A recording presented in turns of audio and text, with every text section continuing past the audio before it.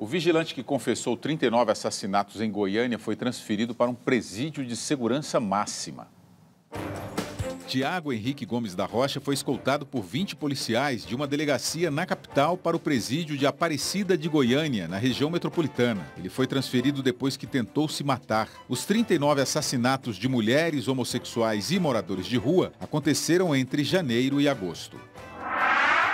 Um homem invadiu uma área do hospital de Itabuna, no sul da Bahia, para cobrar atendimento para a filha, que teria engasgado com uma moeda. Ele ficou desesperado com a demora da equipe de plantão porque a menina estava sem ar. Depois do episódio, a menina foi imediatamente atendida e passa bem.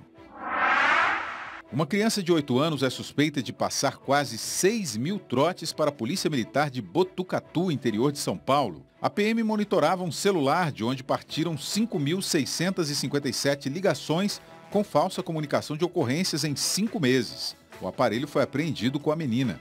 Ela foi levada com a avó para a Delegacia de Defesa da Mulher da cidade e em seguida foi liberada.